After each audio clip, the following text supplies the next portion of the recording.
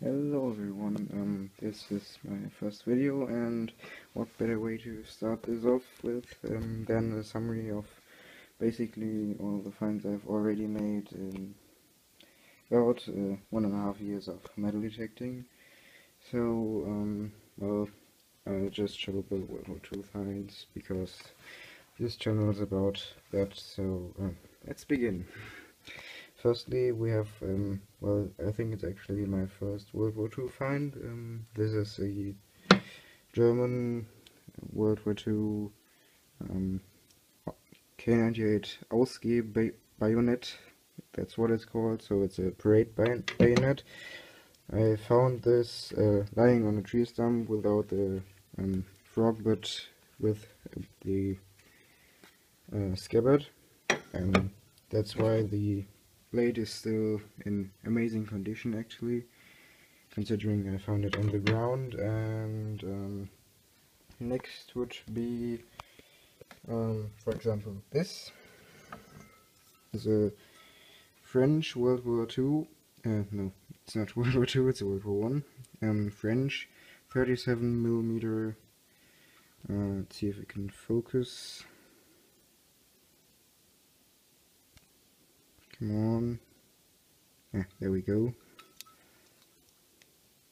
you see, um, April of 1918, but that's when this one was manufactured, and it's a, a 37 millimeter shell, as I already said, and it's for the, um, well, it's a 37 millimeter gun. This uh, gun, for example, was used in the French FT-17 tank and um, yeah I found this one in in a forest in Germany. And on here is the um, cathedral in Reims R-E-I-M-S in France. France whatever. And um, here's some British 20mm Hispano casings and see the head stamp well it's RH which is really high I think. Um, okay let's move on. Um, flare gun shell. It's also got remains of a marking here.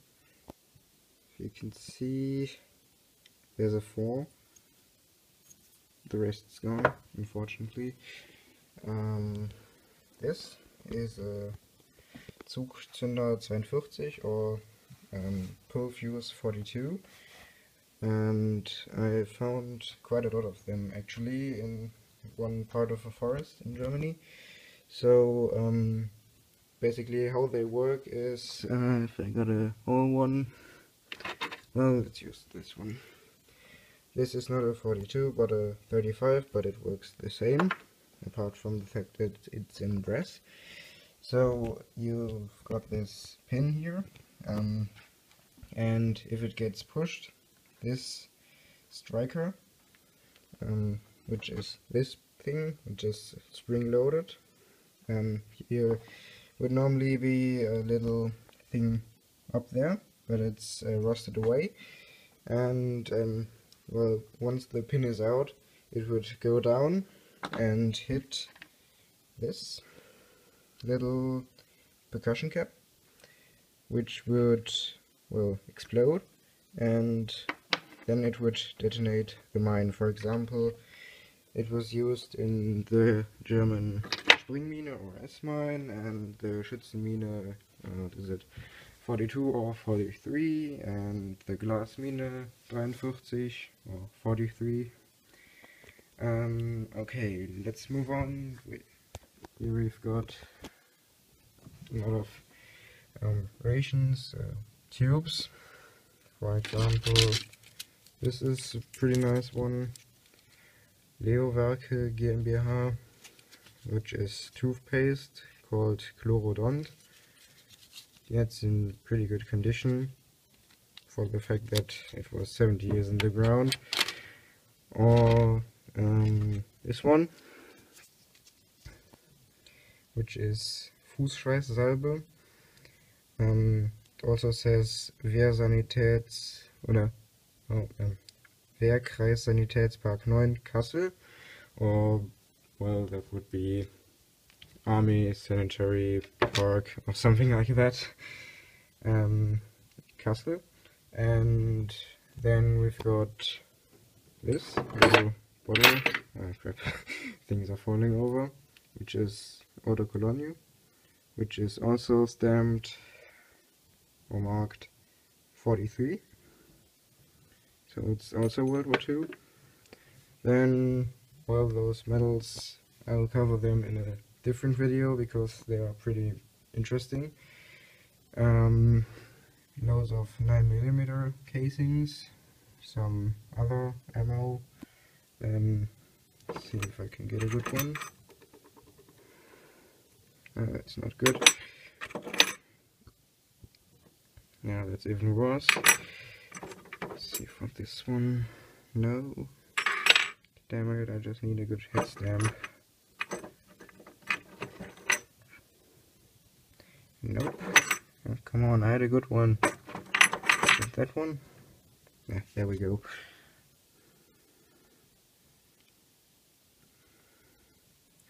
Shaking. well it's SSMO as you can see 1939 TV I don't know what that stands for. And the SS runes you can't see them very well. I'll try to remember to take a photo and show you it afterwards.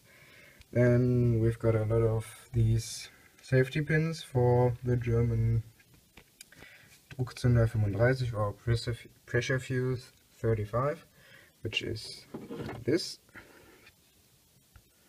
It's also really good condition. A shame I didn't know about the finish that was on it. Um, I think I destroyed that. but it's a very nice condition. So you can see RR492 38 and all the parts are still moving and I've also got another one which actually detonated and I found it in uh, about six pieces and glued them all back together which is back there. And next to it is um, pretty rare finding a 20 millimeter flak casing. Yeah that's not very rare but it's exploded and it's in brass and I hope I can make it focus. Yeah there you can see the date 38 and there's the Waffenamt stamp. So that's also pretty nice. Um, some other casings K98 clips we don't know them. Then we come to the money. 5 Reichspfennig 50 you know them some buttons and some other coins. Then this is a pretty cool find. This is um, of the um, German gas mask canister. The inside part where you've got the spare lenses. I don't know, I found it, but not the gas mask canister. But anyway, um, if it's wet you can see it a little better, but it says something Posay, so it's the name, maybe Fritz or something. Then it also says um, something very, very interesting. Um, this is a Feldpostnummer. And when it's wet, you can read it. It's um, C61235, I think it was. And um, that um, is the Feldpostnummer of a um, flak battalion. So that's pretty cool. So I know one unit that fought in that forest. Okay, then we've also got this, which is of a fuse. It's a safety cap for a fuse of a German SC-250 or 250 kilogram bomb, which was, for example, used in the Ju-87 and so on. Then we've got this um, gas mask breathing valve or whatever you want to call it it's got a stamp there, 43H something. Pretty good. Found that in a oh in a dump hole actually. Then we've got an exploded 37 millimeter flak casing, which is pretty rare, especially in an exploded version. You can also, I hope, there's the P code. It says 1938, I think. There's the rest of the eagle. It's gone, unfortunately, by the explosion. Then, not sure if you can make them out. There's some 20mm flak casings. Um, got a pretty nice 20mm flak fuse. It's dated 44 ASP AZ49, which stands for Aufschlagzünder 49, and which is um, well, what is that? okay. Um, well, it's a if it hits, it goes boom, basically.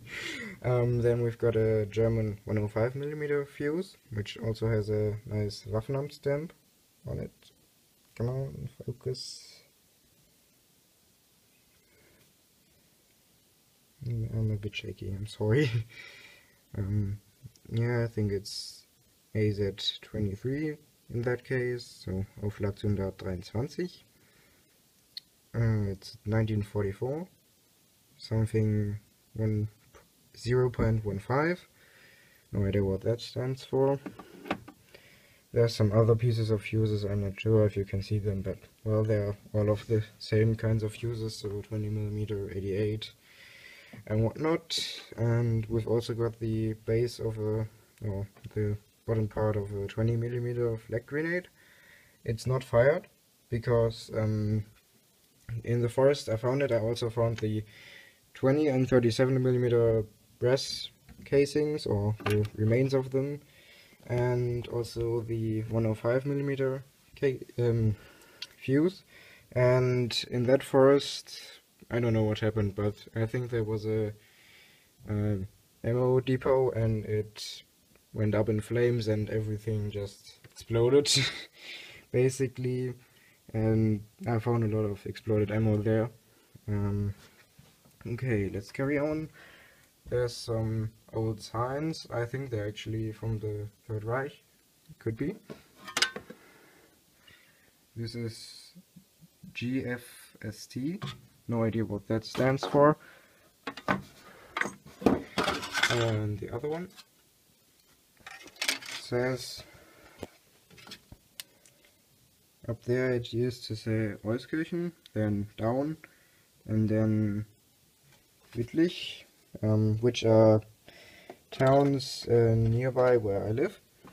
And then we will go to the Allied stuff. Here we've got some casings which you aren't able to see, but they're just usual 30 cal. Then we've got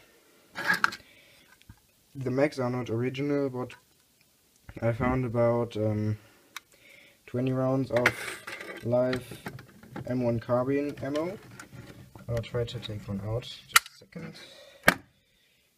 Uh, that's the wrong one, because that's the one where I just put the bullet on. Come on, you know you want to. Okay, so I just drilled a hole in them to get the gunpowder out, so they are safe no gunpowder in them so I can keep them without any problems. Then we've also got a lot of 50 cal um, bullets. And this is a Bren gun mag and I filled it with ammo 303 British ammo which I actually found lying on the surface in in the dozens. Um, near to, uh, near, yeah, next to a tree, which was pretty surprising. I mean, you don't expect when you go somewhere in a forest, and it was maybe three meters near a road, um, to see like 20 rounds of ammo just lying on the surface. I mean, you'd expect someone to find it.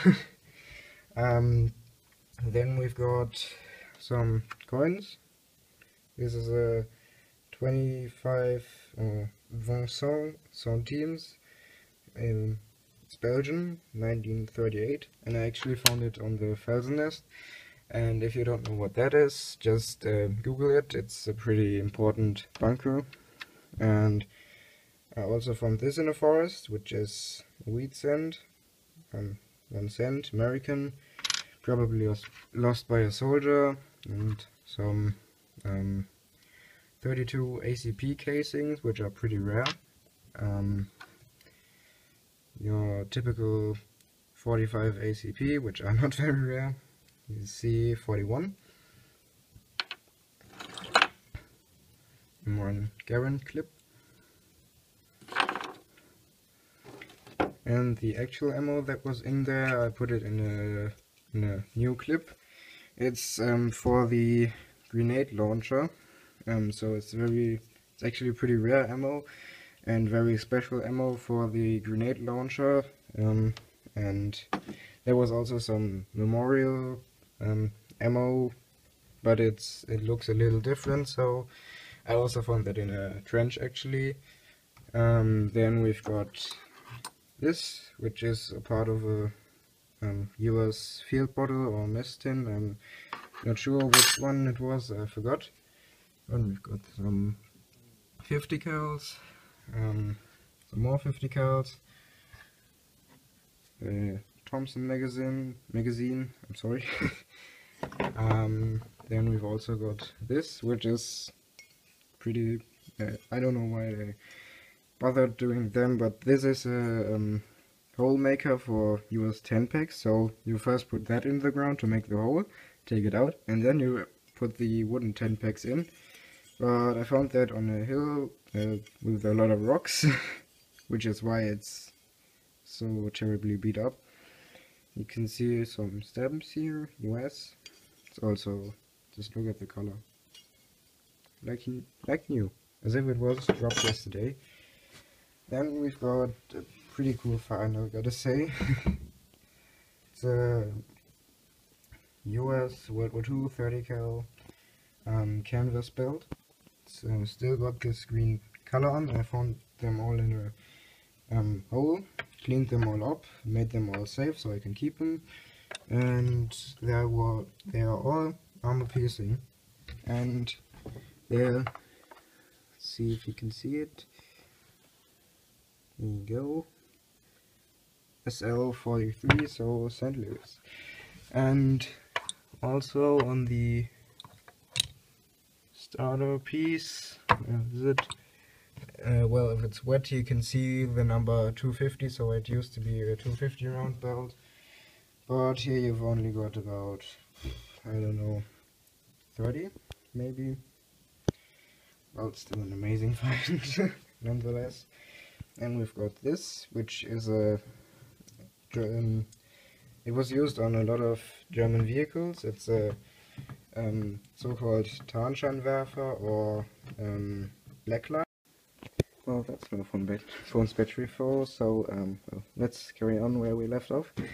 Um, so yeah, this is a so-called blacklight or Tarnscheinwerfer used on German vehicles.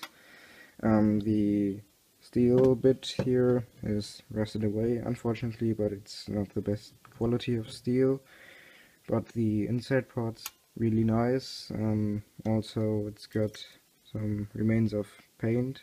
See this ochre or whatever color paint which was used on the German vehicles which was also found where I found this gas mask thing.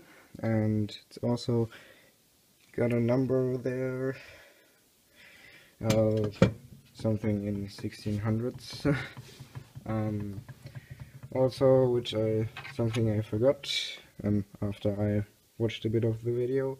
This is a 1st of May badge I also found there um, at the location where I found this and the SS ammo which is a 1st of May badge from 1936 you see? Pretty good condition.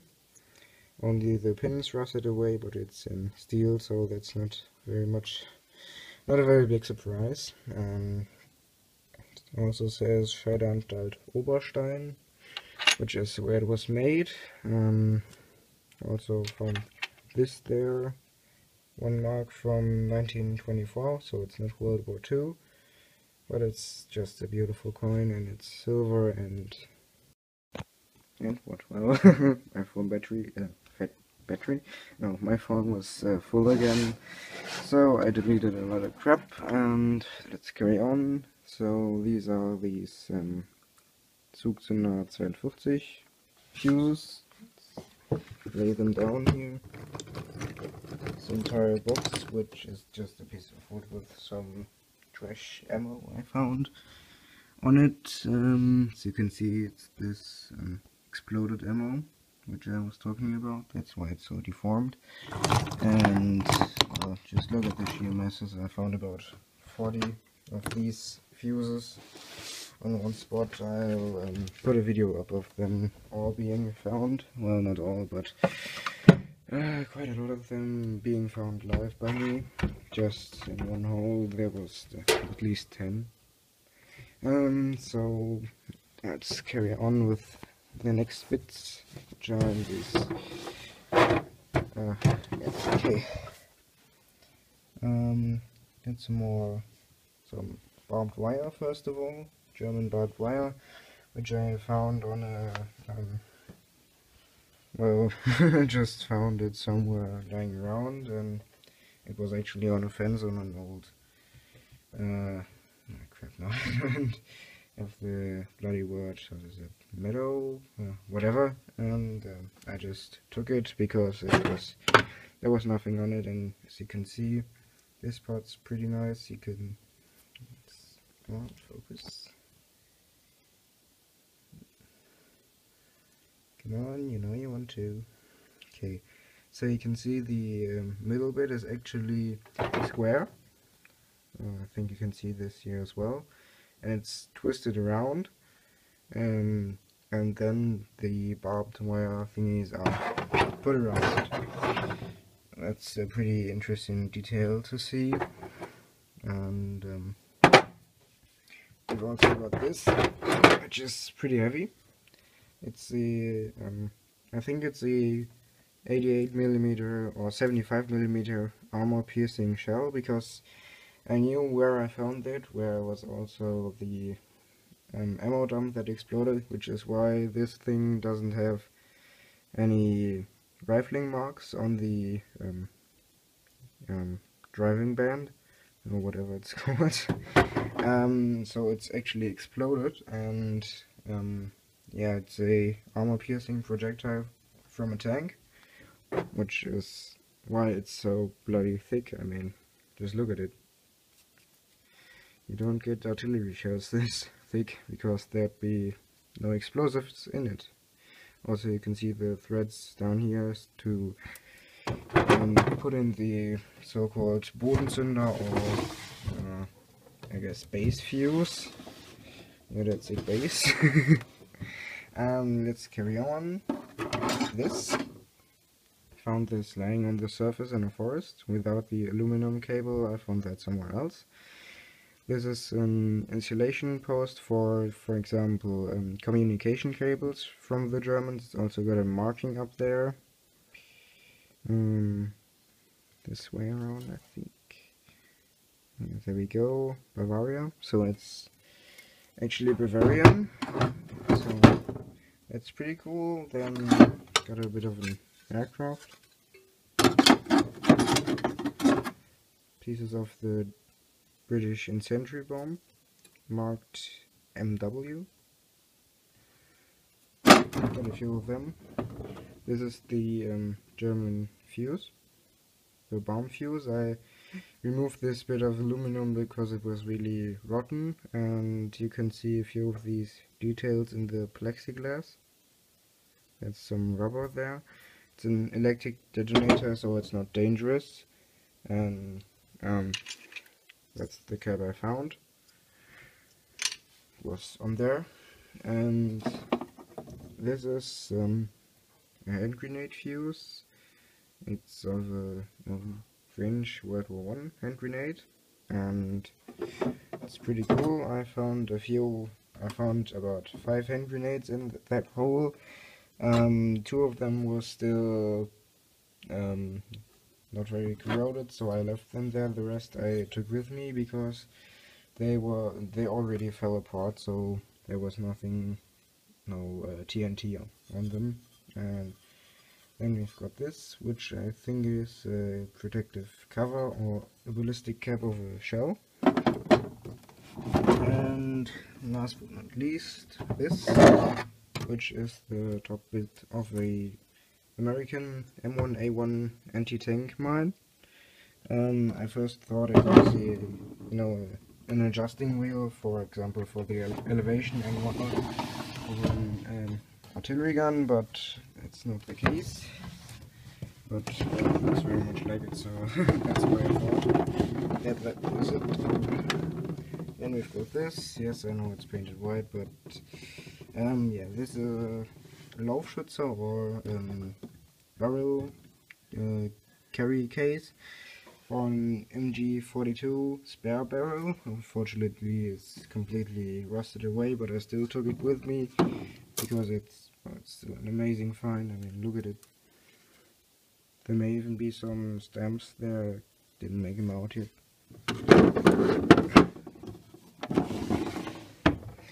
And the last bit, which is probably the biggest find I've ever made. And a really, really cool one. So, what do you think it is? I'll tell you. It's the um, cover for the gearbox of a motorcycle from World War II, which is a um, DKW NZ350, I think, which is um, basically nowadays Audi Audi, whatever. Here you can see the um, brand. Yeah, those four circles. Um, it's a cast aluminum piece. Um, this motorcycle was also used by the Wehrmacht, but uh, they called it then the DKW NZ 350-1 because they didn't like this in aluminum, so they wanted it in steel. But I found the aluminum bit, but that was also used by the Wehrmacht. So that's pretty cool and it's still pretty good condition and you can see all the details on it. When I found it, it was completely dirty. I kind of cleaned it up, but it's too much. And now it just sits in the cupboard. Okay, um... What else? Well, we've got these things, which I'll cover sometime in the future. And we've got this um, German ammo belt. The um, this belt and starter tab. Um, the first 50 rounds uh, round belt is not original, but the other two are. One is 1938 and the other one is 1942 and uh, all the casings, I found all the casings myself, so you can see for example here, they're original World War II, German casings, so that's where all they went, all of them went, there we go, and um, see, anything more, yes, another load of crap.